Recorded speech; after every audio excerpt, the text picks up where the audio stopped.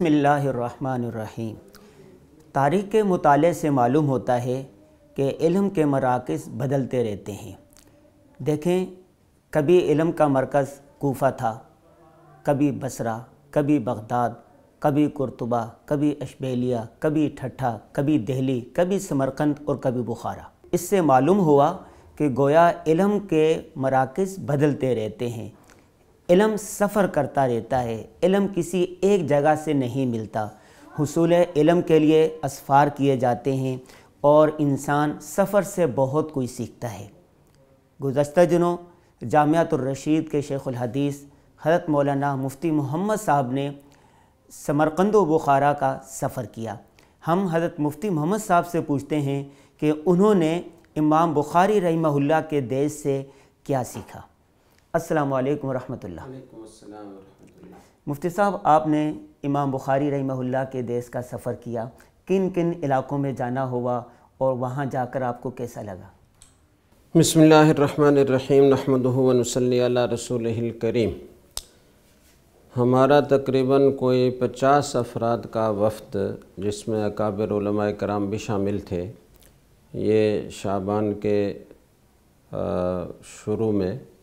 Uzbekistan گیا تھا، جس میں حضرت مولانا پیر عزیز الرحمن صاحب ہزاروی دامت برکاتہم، حضرت قاری محمد حنیف صاحب جالندری دامت برکاتہم، حضرت مولانا قاضی عبدالرشید صاحب دامت برکاتہم، حضرت مولانا سعید یوسف صاحب دامت برکاتہم اور کئی علماء کرام تھے مشائق اعظام تھے اور بڑا بھرپور وفد تھا۔ ازبکستان سن انیس سو اکانوے اگست کے مہینے میں آزاد ہوا اور اکتیس تاریخ تھی۔ اور یکم ستمبر کو وہاں یوم آزادی منایا جاتا ہے۔ اور یہ ازبکستان بارہ صوبوں پر اور ایک دارالخلافہ تاشقند پر مشتمل شہر ہے۔ اور اس کا سفر لاہور سے اتنا ہی ہے جتنا کراچی سے اسلام آباد۔ ڈیڑھ سے پونے دو گھنٹے کی فلائٹ ہے۔ اور ازبکستان کی سرحدیں قزاقستان کرغزستان تاجکستان، افغانستان اور ترکمانستان سے ملتی ہیں، پانچ ملکوں سے ملتی ہیں۔ ازبک وہاں کی عام زبان ہے، جس کی جڑیں ترکی سے ملتی ہیں اور دوسری زبان تاجک بھی بعض علاقوں میں بولی جاتی ہے۔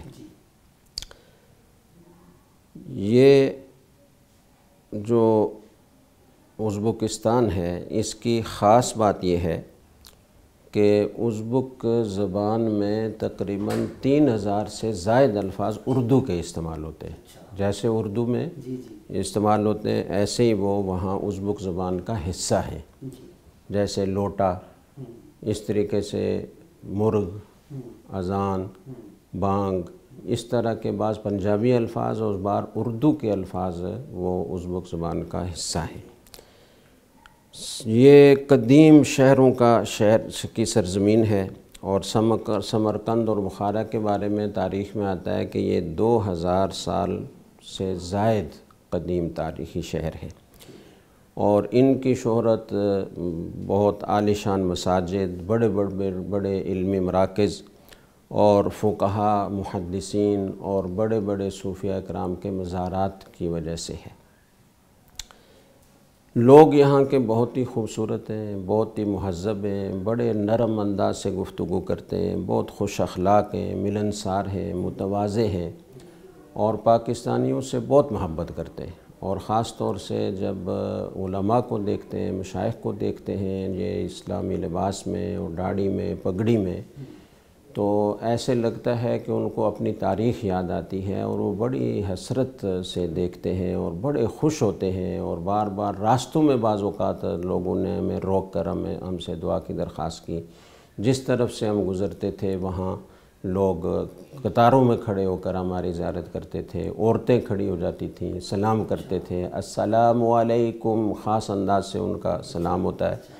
بچے کھڑے ہو جاتے تھے، ہمارے جہاں کے ہم کسی جگہ پر جاتے تھے تو ہمارے جوتے سیدھے کرتے اور بہت ہی محبت سے پیش آتے تھے۔ تو بہت ہی اچھے لوگ ہیں، پاکستانیوں سے خاص طور سے بہت محبت کرتے ہیں۔ دوسری چیز جو خاص طور سے وہاں دیکھنے میں آئی ہے، وہاں کی صفائی، ستھرائی، نظم و ضبط سڑکیں کشادہ کشادہ ہیں اور سڑکوں کے اطراف میں سبزہ ہے، طرح طرح کے رنگ برنگے پھول ہیں۔ بہت خوبصورت۔ اور صفائی کا ایسا نظام ہے کہ ہم نے چھ دن وہاں گزارے اور اس دن، اس دوران ہم ترمز بھی گئے سمرقند بھی گئے تاشقند کے علاقے بھی دیکھے اور اس دوران ہمارا بسوں میں سے بھی سفر ہوا، ٹرین سے بھی سفر ہوا، جہاز سے بھی سفر ہوا۔ لیکن جو دیہاتی علاقے ہیں، جو ہمیں بسوں پر جاتے ہوئے نظر آتے رہے، ٹرین پر جاتے ہوئے دائیں بائیں نظر آتے رہے، وہاں بھی ایسی بہترین صفائی ہے کہ آپ کو کسی جگہ کوئی کچرا جمع ہوا نہیں ملے گا حتیٰ کہ آپ کو سڑک پر کوئی تنکا نظر نہیں آئے گا کوئی ریپر نظر نہیں آئے گا۔ بالکل ایسی ہم حیران ہوتے ہیں کہ وہ یعنی صفائی وہاں کے ہر شخص کے مزاج کا حصہ ہے۔ اور اس کا سوال ہی نہیں پیدا ہوتا کہ وہاں کوئی بچہ وہ پاپڑ کھا کر وہ ریپر ایسے سڑک پر پھینک دے یا فٹ پاتھ پر پھینک دے سوال ہی نہیں پیدا ہوتا۔ اس کے لیے جو جگہ بنی ہوئی ہیں جو کوڑا دان بنا ہوا ہے بچوں کی بھی ایسی تربیت ہے کہ وہ وہیں جا کر اس کو پھینکیں گے، وہ ادھر ادھر اس کو نہیں پھینکیں گے۔ تو ہمیں کسی جگہ نہ پانی کھڑا ہوا نظر آیا، حالانکہ ہمارے اس سفر کے دوران بارشیں بھی ہوتی رہیں۔ اور کسی جگہ ہم نے پانی کھڑا ہوا نہیں دیکھا، کسی جگہ کوئی پانی رکا ہوا نہیں دیکھا، کسی جگہ ہم نے کوئی کچرا پڑا ہوا نہیں دیکھا۔ اور یہاں تک کہ ہم بعض دیہاتی علاقوں میں جو مزار تھے، ان کی زیارت کے لیے گئے تو جو راستے میں لوگوں کے، عام لوگوں کے مکانات تھے، ان کے بار بھی ایسی صفائی ستھرائی ہوتی تھی اور خاص طور سے جہاں درخت زیادہ ہوں تو وہاں پتے بھی جڑتے ہیں، بعض درختوں کے بیج وغیرہ کچھ اس طرح کی چیزیں گرتی ہیں۔ لیکن ہم نے دیکھا کہ وہاں مسلسل لوگ صفائی میں لگے ہوتے تھے کہ درختوں کے پتے جمع نہ ہوں اور کچرا نہ بنے، گھروں کے باہر بالکل صفائی، ستھرائی، ایسا بہترین ماحول تھا۔ اچھا مفتی صاحب یہ بتائیے کہ وہاں پر مساجد مدارس کا کیا نظام ہے؟ اس طرح کا تھا یا کیا طریقہ کار تھا؟ دیکھیں، جو مدارس اور مساجد کا نظام ہے، پہلے تو میں مساجد کی بات کروں کہ مساجد ایسی شاندار بنائی گئی ہیں اور اس میں فن تعمیر کا ایسا شاہکار نظر آتا ہے۔ لکڑی کا کام ہے اور نقش و نگار ہے، تزئین ہے، بڑے بڑے گنبد بنے ہوئے ہیں۔ اور دیواریں بہت اونچی اونچی ہیں اور دروازے ایسے پرشکو بنائے گئے ہیں کہ آدمی حیران ہوتا ہے اور دل چاہتا ہے بس اس کو دیکھتے رہیں۔ ایسی خوبصورت مساجد۔ اندر بہت وسیع حال ہوگا، اس میں کوئی ستون نہیں ہوگا، کسی جگہ ستون ہوگا بھی تو وہ بھی اتنا خوبصورت بنایا گیا ہوگا۔ قالین بہترین بچھے ہوئے ہیں اور جوتوں کے بعد ریک رکھے ہوئے ہیں، لوگ ترتیب سے جوتے اتارتے ہیں اور ریکوں میں رکھتے ہیں اور کسی جگہ کوئی بد نظمی کوئی اڑبونگ نکلتے ہوئے، داخل ہوتے ہوئے کسی جگہ ہمیں نظر نہیں آئی۔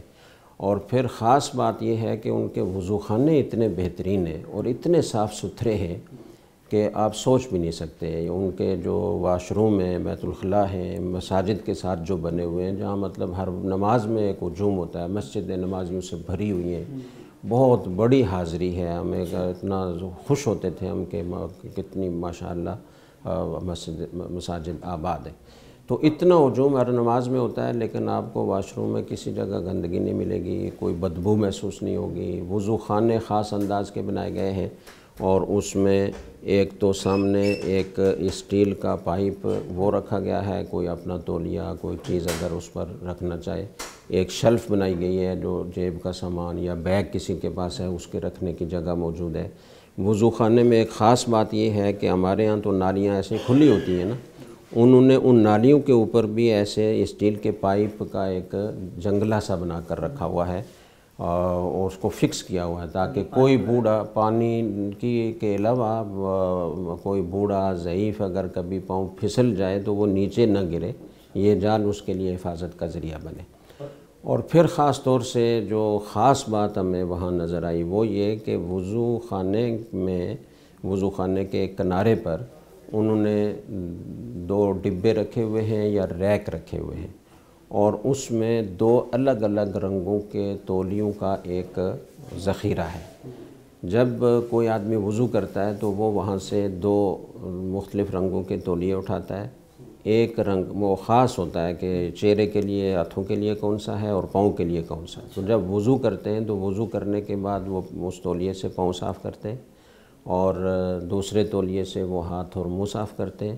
اور وہ استعمال شدہ جو تولیے ہوتے ہیں، وہ پھر آ کر دوسرے اس ریک میں، اس ڈبے میں ڈالے جاتے ہیں، جہاں سے وہ پھر دوبارہ دھلائی کے لیے جائیں گے۔ یعنی ایک دفعہ جو تولیہ استعمال ہو گیا، وہ دوبارہ استعمال نہیں ہوگا۔ اور ہر نماز میں سینکڑوں، بعض اوقات ہزاروں نمازی آتے ہیں اور ان کے لیے یہ تولیے مہیا ہوتے ہیں۔ اور دوسری نماز میں تازہ تولیے مہیا ہوتے ہیں۔ مساجد کی علماء کی یہ تو مساجد کے بارے میں ہو گیا۔ مدارس کا علماء کا، طلباء کا، یہ نظام کیسا ہے وہاں؟ دیکھیں، یہ تو بڑی دکھ دہ بات آپ نے پوچھی ہے۔ وہاں جو اتنے بڑے بڑے علمی مراکز رہے ہیں، امام بخاری رحمۃ اللہ علیہ نوے ہزار شاگردوں نے ان سے ان کی صحیح بخاری پڑھی ہے۔ اور کسی زمانے میں ہر مدرسے میں ہزاروں ہزاروں طلباء ہوتے تھے۔ اور ایک بہار تھی وہاں علوم دین کی، فقہ کی، حدیث کی، ہر قسم کے علوم کی۔ لیکن اب وہ اس کے نشانات تو باقی ہیں۔ جو پرانے مدارس کسی زمانے میں قائم ہوئے تھے، پھر امیر تیمور لنگ نے ان کی بہترین تعمیر کی، بہترین آرائش کی اور وہاں کے مدارس کی تعمیر کی۔ ایک خاص بات یہ ہے کہ وہ بہت ہی چوڑی دیوار بناتے ہیں اور وہ دیوار کوئی پچاس فٹ یا بعض اوقات پچاس فٹ سے بھی زیادہ اونچی ہوتی ہے اور یہ اتنی چوڑی ہوتی ہے کہ اسی دیوار کے اندر پھر وہ حجرے بنے ہوتے ہیں۔ بعض اوقات ایک منزلہ اور بعض جگہوں پر ہم نے دو منزلہ بھی دیکھے ہیں کہ نیچے فرشی منزل پر بھی حجرے بنے ہوئے ہیں اور اوپر دوسری منزل ہے، اس پر بھی حجرے بنے ہوئے ہیں اور یہ دیوار کے اندر ہی ہے۔ یعنی اتنی بڑی چوڑی دیوار کہ پورا حجرہ جتنا چوڑا ہے اور جتنا لمبا ہے، اتنی چوڑی دیوار ہے۔ تو یہ اور اتنی پرشکو ہیں، ان پر نقش و نگار ہے۔ آج کل فیروزی رنگ کا وہ نئی حکومت نے اس میں جو تجدید کی اور اس کو نئے سرے سے تزئین کی، آرائش کی، تو اس میں انہوں نے فیروزی رنگ کو۔ پہلے وہ خاکی رنگ کی ہوتی تھیں اور بعض جگہ ہم نے نئی تعمیر دیکھی ہے۔ سرخی، چھوٹی چھوٹی اینٹوں کی، بڑی خوبصورت تعمیر ہے۔ اور دروازے ان کے اتنے پرشکو ہیں، بہت اونچے اور بہت ہی چوڑائی میں بھی بہت کافی کشادہ اور ان کے اوپر جو نقش و نگار کا کام ہوا ہوا ہے، وہ دیکھنے سے تعلق رکھتا ہے۔ تو یہ چار دیواری ہے اس طریقے سے اتنی وسیع اور کشادہ اور اسی کے اندر حجرے بنے ہوئے ہیں اور درمیان میں ایک وسیع اور عریض میدان ہے۔ مفتی صاحب ترکی میں ایسا ہوا جو قدیم مدارس سے خانقاہیں تھی ترک حکومت اس کو آباد کر رہی ہے۔ تو یہاں پر بھی ایسا ہے؟ یہاں نئے مدارس تو قائم ہو رہے ہیں اور خاص طور سے اس وقت جو حکومت ہے وہ، مسجدیں تو روس کے زمانے میں زیادہ تر جو ہے وہ تباہ کر دی گئی تھیں، بند کر دی گئی تھیں، بعض کے نام و نشان ہی مٹ گئے تھے۔ اب ان پرانی جگہوں کو تلاش کر کر کے نئی حکومت وہاں تعمیر مساجد کی کر رہی ہے اور اس کے علاوہ نئی جگہوں پر بھی مساجد کی تعمیر بڑی تیزی سے شروع ہے اور اس وقت جو وہاں کے صدر ہیں وہ خود آ کر نئی تعمیر جب ہوتی ہے کسی مسجد کی تو خود آ کر افتتاح کرتے ہیں تو بڑی دلچسپی ہم نے محسوس کی۔ وہاں کے مفتی اعظم سے بھی ہماری ملاقات ہوئی، وہاں کے اور بعض حکام سے بھی ہماری ملاقات ہوئی اور اندازہ ہوا کہ بہت ہی دین کی طرف رجحان ہے۔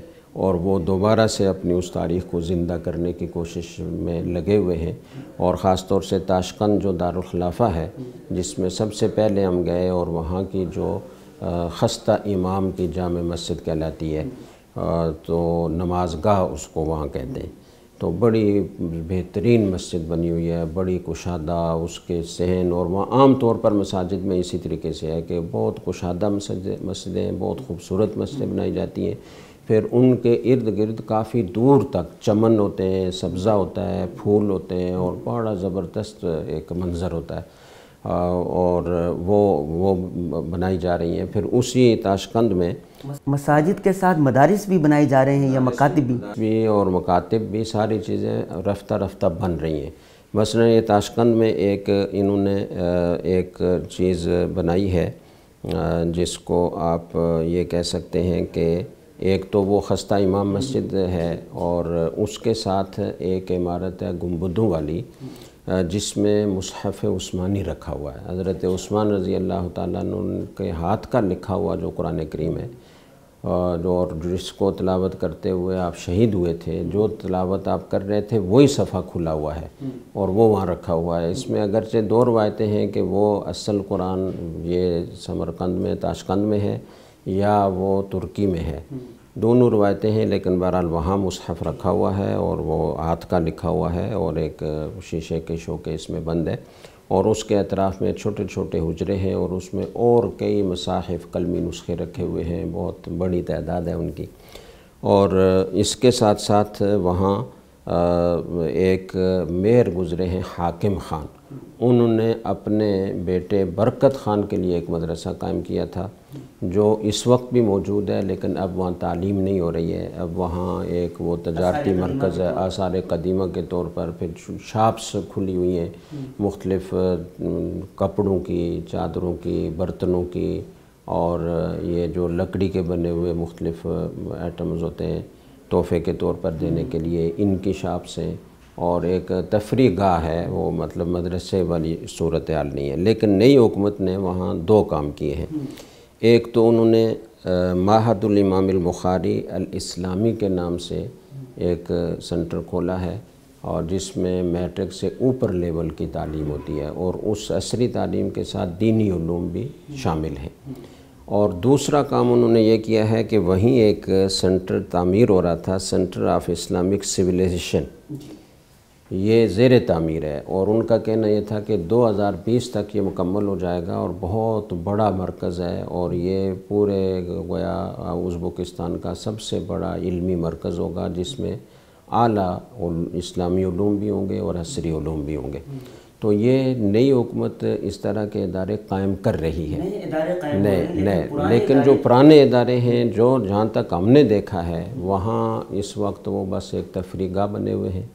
جیسے کہ آگے چل کر آپ اگر دیکھیں تو وہاں ایک ریگستان باغ کے نام سے ایک علاقہ ہے، جس کے تین تاریخی مدرسے ہیں، جو امیر تیمور لنگ اور اس کی اولاد، اس کے بیٹوں اور پوتوں نے قائم کیا، امیر الگ بیگ، جو اس کا پوتا ہے، اس نے تعمیر کیا تھا اور بہت عالیشان مدرسہ ہے، جس طرح میں نے کیفیت بتائی کہ ان کی دیواریں، ان کے دروازے، پرشکو عمارات ہیں۔ لیکن اس وقت وہ ایک تفریح گاہ بنے ہوئے ہیں، وہاں کوئی تعلیم نہیں ہو رہی۔ اسی طرح یہ تین مدرسے ہیں یہاں۔ دو بالمقابل ہیں اور ایک ان کے وسط میں تھوڑے فاصلے پر ہے۔ اور اسی جگہ ایک سب سے پہلی اسلامی رستگاہ تعمیر کی گئی تھی۔ اور یہ جو ہے وہ بہت یعنی جو جو یہ الگ بیگ تھا، یہ خود بہت بڑا ماہر فلکیات تھا، ماہر فن تھا، ریاضی کا بھی اور فلکیات کا بھی۔ تو اس نے یہاں اسلامی رستگاہ تعمیر کرنا چاہیے، وہ تعمیر کر لی اس نے۔ اور اس کے بعد پھر اس کو یہ خیال ہوا کہ اس مدرسے کی اور اس رستگاہ کی نگرانی کے لیے میں کسی کو نامزد کر دوں، تاکہ میرے بعد بھی یہ سلسلہ اسلامی علوم کا اور سائنسی علوم کا چلتا رہے۔ تو اس نے اس کا اعلان کیا کہ میں ایسے آدمی کو اس کے لیے مقرر کرنا چاہتا ہوں کہ جو سائنسی علوم میں ماہر ہو۔ تو وہیں باہر ایک اینٹوں کا ڈھیر پڑا ہوا تھا اور ایک فقیر درویش قسم کا آدمی ان اینٹوں پر بیٹھا ہوا تھا۔ اس نے یہ اعلان سنا تو اس نے کہا کہ میں اپنے آپ کو پیش کرتا ہوں۔ تو اس نے تعجب سے کہا کہ تم، میں سائنسی علوم کا اور اسلامی علوم کا ماہر ڈھونڈ رہا ہوں اور آپ کی کیفیت تو ایسی نہیں ہے۔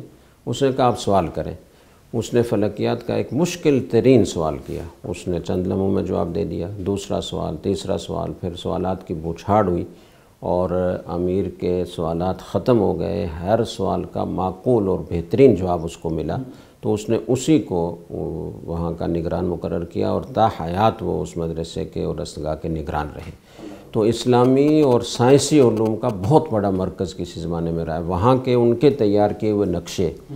وہ مختلف زبانوں میں، لاطینی زبان میں اس کے ترجمے ہوئے اور بعد میں پھر آکسفورڈ نے ان کو شائع کیا اور ان کو مستند ترین نقشے قرار دیا۔ تو یہ بہت بڑا مرکز تھا علمی۔ لیکن ابھی ان کو اس علمی مرکز کے طور پر آباد کرنے کے کوئی آثار وہاں لگ نہیں رہے تھے۔ وہ کچھ لوگ جو اپنی تقریبات منعقد کرنے کے لیے اس میدان کو اور اس وسیع اور عریض صحن کو استعمال کر رہے ہیں۔ اس کے اطراف میں جو کمرے بنے ہوئے تھے وہ مختلف چیزوں کی خرید و فروخت کے لیے استعمال ہو رہے ہیں۔ آپ ایک طویل عرصے سے بخاری شریف پڑھا رہے ہیں۔ تو جب آپ امام بخاری رحمہ اللہ کے نہ صرف دیس بلکہ ان وہاں گئے ان کے مزار پر تو کیا محسوسات تھے؟ کیا دیکھیں وہ الفاظ میں بیان نہیں کیے جا سکتے۔ ایک تو یہ کہ ہمارے وقت میں چونکہ علماء اور مشائق تھے تو پورا سفر ہی روحانیت سے بھرپور تھا۔ اور اس میں ذکر و تلاوت کا بڑا اہتمام تھا سفر کی دعاؤں کا اہتمام اور اس کی کوشش کہ اپنے معمولات سفر کی وجہ سے وہ ان میں ناغا نہ ہو وہ پورے پورے ہوں۔ پھر ایک خاص بات میں آپ کو بتاؤں کہ حضرت مولانا قاری محمد عنیف جالندری صاحب دامت ہوں انہوں نے سفر شروع کرتے ہوئے قرآن کریم شروع کیا تھا اور ماشاءاللہ بہت پختہ قرآن ہے اور زبانی تلاوت کرتے جاتے تھے۔ امام بخاری کے مزار پر پہنچنے سے پہلے پہلے انہوں نے قرآن ختم کر دیا تھا۔ اور ایسے ہی مولانا الرحمٰن الرحمن ہزاروی صاحب ذکر و اذکار ذکر کی مجلس بھی ہوتی رہی۔ بس پر سفر کرتے تھے تو بس کے سفر کے دوران بھی کبھی ذکر جہری کی مجلس قائم ہو جاتی تھی۔ اس کے علاوہ نظم اور نعت کا سلسلہ بھی رہا۔ مولانا سید یوسف صاحب ہمارے ساتھ رہے۔ تو اس کیفیت سے گزرتے ہوئے ہم جب امام بخاری کے مزار پر پہنچے تو پہلے سے اکثر لوگوں نے عیسال ثواب کے لیے بہت ساری تلاوت کر رکھی تھی، ذکر و اذکار کر رکھے تھے۔ پھر جب ہم مزار پر پہنچے تو وہاں مزاروں کا انداز یہ ہے کہ اب اس نئی حکومت نے ان کو بہت توسیع بھی دی ہے اور بہت ہی ان کو مزین بھی بنایا ہے۔ ورنہ ورنہ تو امام بخاری رحمۃ اللہ علیہ کا مزار ایک وقت ایسا تھا کہ بالکل مٹ ہی گیا تھا۔ روس کے زمانے میں جب انہوں نے مزارات پر اور مساجد پر قبضہ کیا ان کو ختم کیا تو اسی زد میں امام بخاری کا مزار بھی آیا۔ اور ایک خاص بات مجھے یاد آئی کہ انڈونیشیا کے ایک صدر تھے سوئے کارنو۔ انہوں نے روس کا دورہ کرنا تھا تو انہوں نے شرط لگائی کہ میں روس کے صدر سے ملنے سے پہلے امام بخاری کے مزار پر جاؤں گا۔ تو اب ان کو کیا پتہ امام بخاری کون، ان کا مزار کہاں۔ تو وہ پھر ڈھونڈتے ڈھونڈتے آخر انہوں نے ڈھونڈا۔ تو دیکھا کہ وہ تو بہت ہی خستہ حال ہے اور انڈونیشیا کے صدر ہیں جن کا دورہ خود روسی حکومت کے لیے بہت اہم تھا اور وہ اس کو اہمیت دے رہے تھے۔ تو اس حالت میں ہم کیسے ان کو اس مزار پر لائیں گے؟ تو انہوں نے اس کی تعمیر نو کا سلسلہ شروع کیا، لیکن چونکہ دورہ قریب تھا تو وہ تعمیر پوری نہیں ہوئی اور وہ خستگی ہی کا غلبہ رہا۔ تو یہ جو صدر آئے انڈونیشیا کے، انہوں نے مزار کو دیکھا تو یہ رو پڑے اس کی خستہ حالت کو دیکھ کر اور کہا کہ تمہیں نہیں معلوم کہ اس میں کتنی بڑی ہستی آرام فرما ہے۔ تو خیر، اس کے بعد پھر روس کی حکومت نے اس مزار کو تعمیر کیا۔ لیکن پھر اب موجودہ حکومت نے اس میں کافی توسیع کی اور بڑی تزئین و آرائش کی۔ تو عام طور پر وہاں جتنے مزارات ہیں مشہور فقہ کے، محدثین کے، اولیاء کے، تو وہ اس طریقے سے ہوتے ہیں کہ اس کے ارد گرد کافی بڑا احاطہ ہوتا ہے اور اس احاطے کی دیواروں کے ساتھ انہوں نے بینچ لگائے ہوئے ہیں یا کرسیاں لگائی ہوئی ہیں۔ تو جو لوگ آتے ہیں تو ہم نے وہاں کوئی بدعت ہوتے ہوئے نہیں دیکھا کہ کوئی سجدہ کر رہا ہے یا کوئی قبر کو بوسہ دے رہا ہے یا کوئی اور کوئی بدعت کر رہا ہے، بلکہ وہ ان کرسیوں پر بیٹھ جاتے ہیں اور وہ تلاوت کرتے ہیں، ذکر و اذکار کرتے ہیں اور اصال ثواب کرتے ہیں اور واپس آ جاتے ہیں۔ کسی اکا دکا جگہ ہم نے کچھ درخت پر کپڑے لٹکے ہوئے دیکھے اور وہ ایک جگہ تھی جس کو کرکز کہتے تھے وہ لوگ۔ کرک کا معنی چالیس اور کز کا معنی لڑکی۔ تو چنگیز خان کے زمانے میں کچھ نیک سیرت خواتین تھیں جنہوں نے ایک مدرسہ قائم کر رکھا تھا اور اجرے بنائے ہوئے تھے اور وہاں آپ اس کو آج کل کی زبان میں روضۃ الاطفال کہہ سکتے ہیں، بچوں کی تعلیم و تربیت کا ادارہ تھا۔ تو چنگیز خان کے زمانے میں جب حکمرانوں نے ان کو گرفتار کرنا چاہا تو معلوم نہیں انہوں نے کوئی اللہ سے دعا کی یا کیا، وہاں یہ مشہور ہے کہ ان چالیس لڑکیوں کا کچھ پتہ نہیں چلا کہ وہ کہاں چلی گئیں ان کو آسمان کھا گیا زمین نگل گئی۔ اللہ تعالیٰ سے انہوں نے دعا کی کہ ہماری حفاظت فرمائی جائے ہماری عزتیں خطرے میں ہیں تو وہ وہاں سے غائب ہو گئیں۔ بالکل۔ یہ یہ قریب نہیں ہے یہ تھوڑا دور ہے۔ لیکن میں یہ بتا رہا تھا کہ صرف ایک اس جگہ پر ہم نے کچھ کپڑے لٹکے ہوئے دیکھے جیسے ہمارے ہاں مزارات پر لٹکے ہوتے ہیں منت کے کپڑے ورنہ مجموعی طور پر وہاں بالکل ایسا نہیں ہے۔ مفتی صاحب آپ کا خود امام بخاری کے مزار پر جانا امام بخاری کے مزار پر جانا ہوا اور میں نے بتایا کہ یہ بنچ لگے ہوئے تھے تو باقی ہمارے جتنے شرکا تھے تو یہ بنچ یوں لگے یہ قبر ہے قبلہ رخ۔ اور ادھر یہ بنچ لگے ہوئے ہیں۔ اس طرف والا حصہ خالی ہے اور تھوڑی جگہ ہے۔ تو عیسال وہ ہمارے ساتھی تقریباً سارے ان بنچوں پر بیٹھ کے پڑھنے لگے۔ مجھے یہ خیال ہوا کہ سنت طریقہ تو یہ ہے کہ قبر کے اوپر جائیں آپ زیارت کے لیے یا عیسال ثواب کے لیے، تو قبلے کی طرف جانا چاہیے۔ چونکہ میت کا منہ تو قبلے کی طرف ہے، تو آپ اس طرف کھڑے ہوں گے تو اس کے چہرے کے سامنے ہوں گے۔ تو میں اس طرف چلا گیا اور کافی دیر میں وہاں پڑھتا رہا اور عیسال ثواب کرتا رہا، دعا بھی کی۔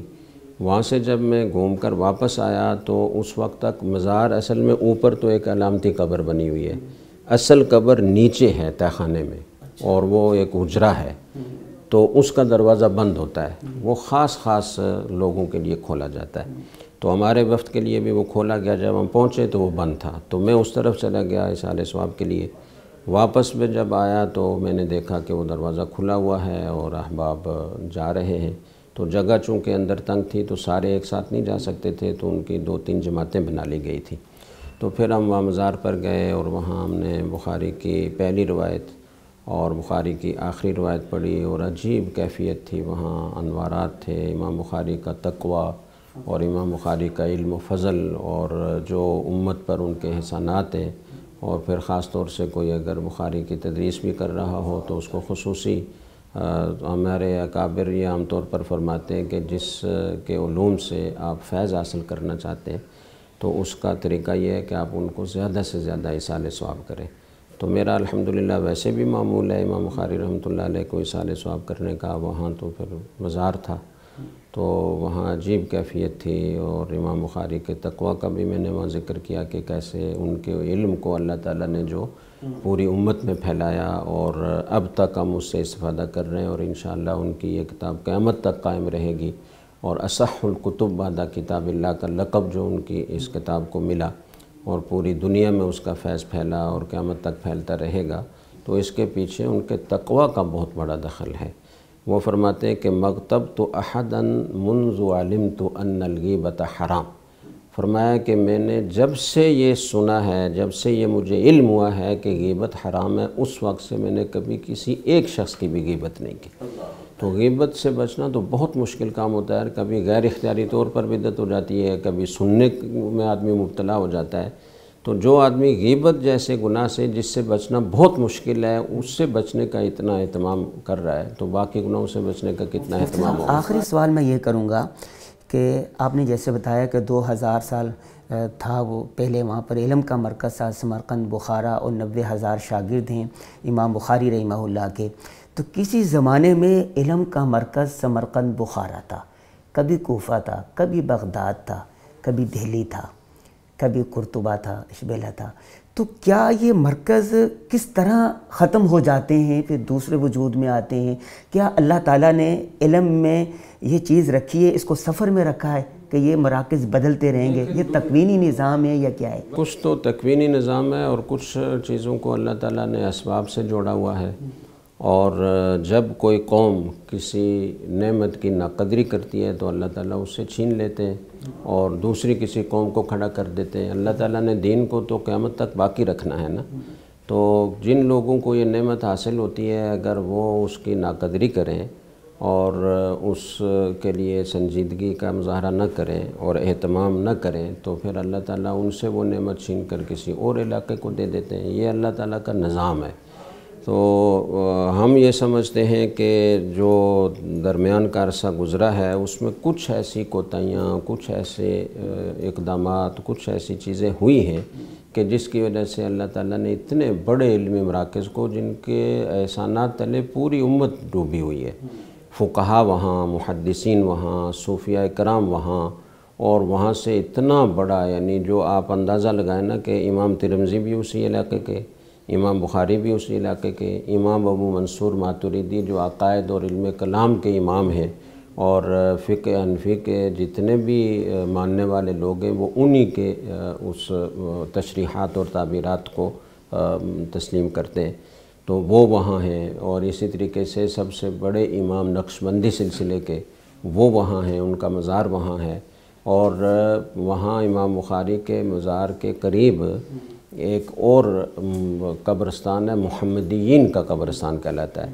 وہ محدثین، اس قبرستان میں صرف وہ محدثین مدفون ہوتے تھے کہ جن کا نام محمد ہوتا تھا۔ اور وہ چار سو محدثین ہیں۔ ناظرین، امام بخاری رحمہ اللہ کے دیس کے بارے میں حضرت مفتی محمد صاحب بڑی دلچسپ باتیں بتا رہے ہیں روحات بلا رہے ہیں۔ ایسی باتیں ہیں کہ چاہتا ہے کہ مفتی صاحب کرتے رہیں باتیں اور ہم سنتے رہیں۔ اس کی دوسری قسط انشاءاللہ پھر کسی وقت عمل